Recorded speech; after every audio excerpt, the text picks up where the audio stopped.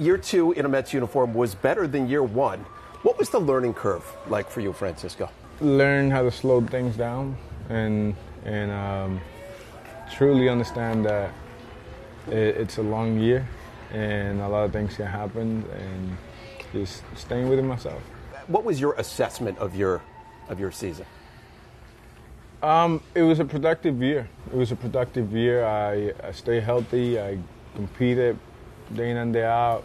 Um, but I wasn't by myself. You know, it was so many of the guys had such good years that I was able to produce runs because the guys in front of me and the guys behind me um, were doing such an outstanding job.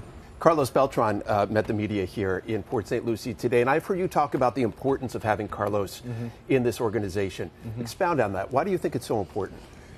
He has so much wisdom, and uh, he's so valuable to any franchise. You know, to the game. He's very valuable to the game. He he brings not just on field perspective, but off the field. And he has uh, good times, bad times, a, a big market, small markets. Mm-hmm. Um, took him forever to win a championship. He won a championship, and and had some rough times after that.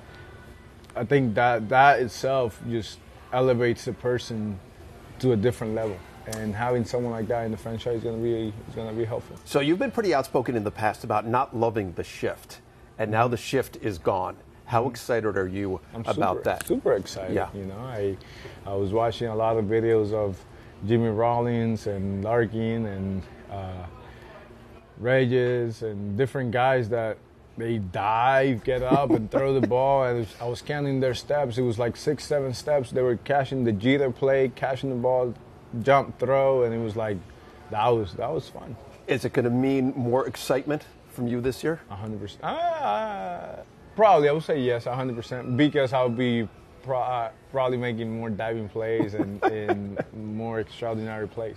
I know you're really excited about the World Baseball Classic. what, why are you so fired up about it?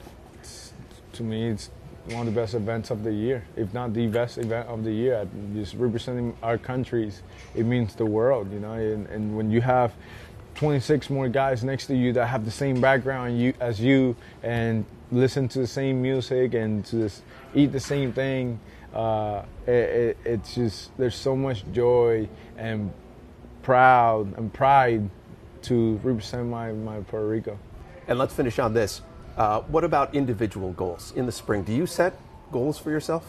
Always, always. I always set goals. Um, and very high goals. My standards for myself are, you know, very, very high. Yeah. Good to see you, Francisco. Yeah, nice seeing you too. Have a great you. season. Enjoy the World Baseball Classic. Yeah, I'm looking forward to that. Thank you, my friend.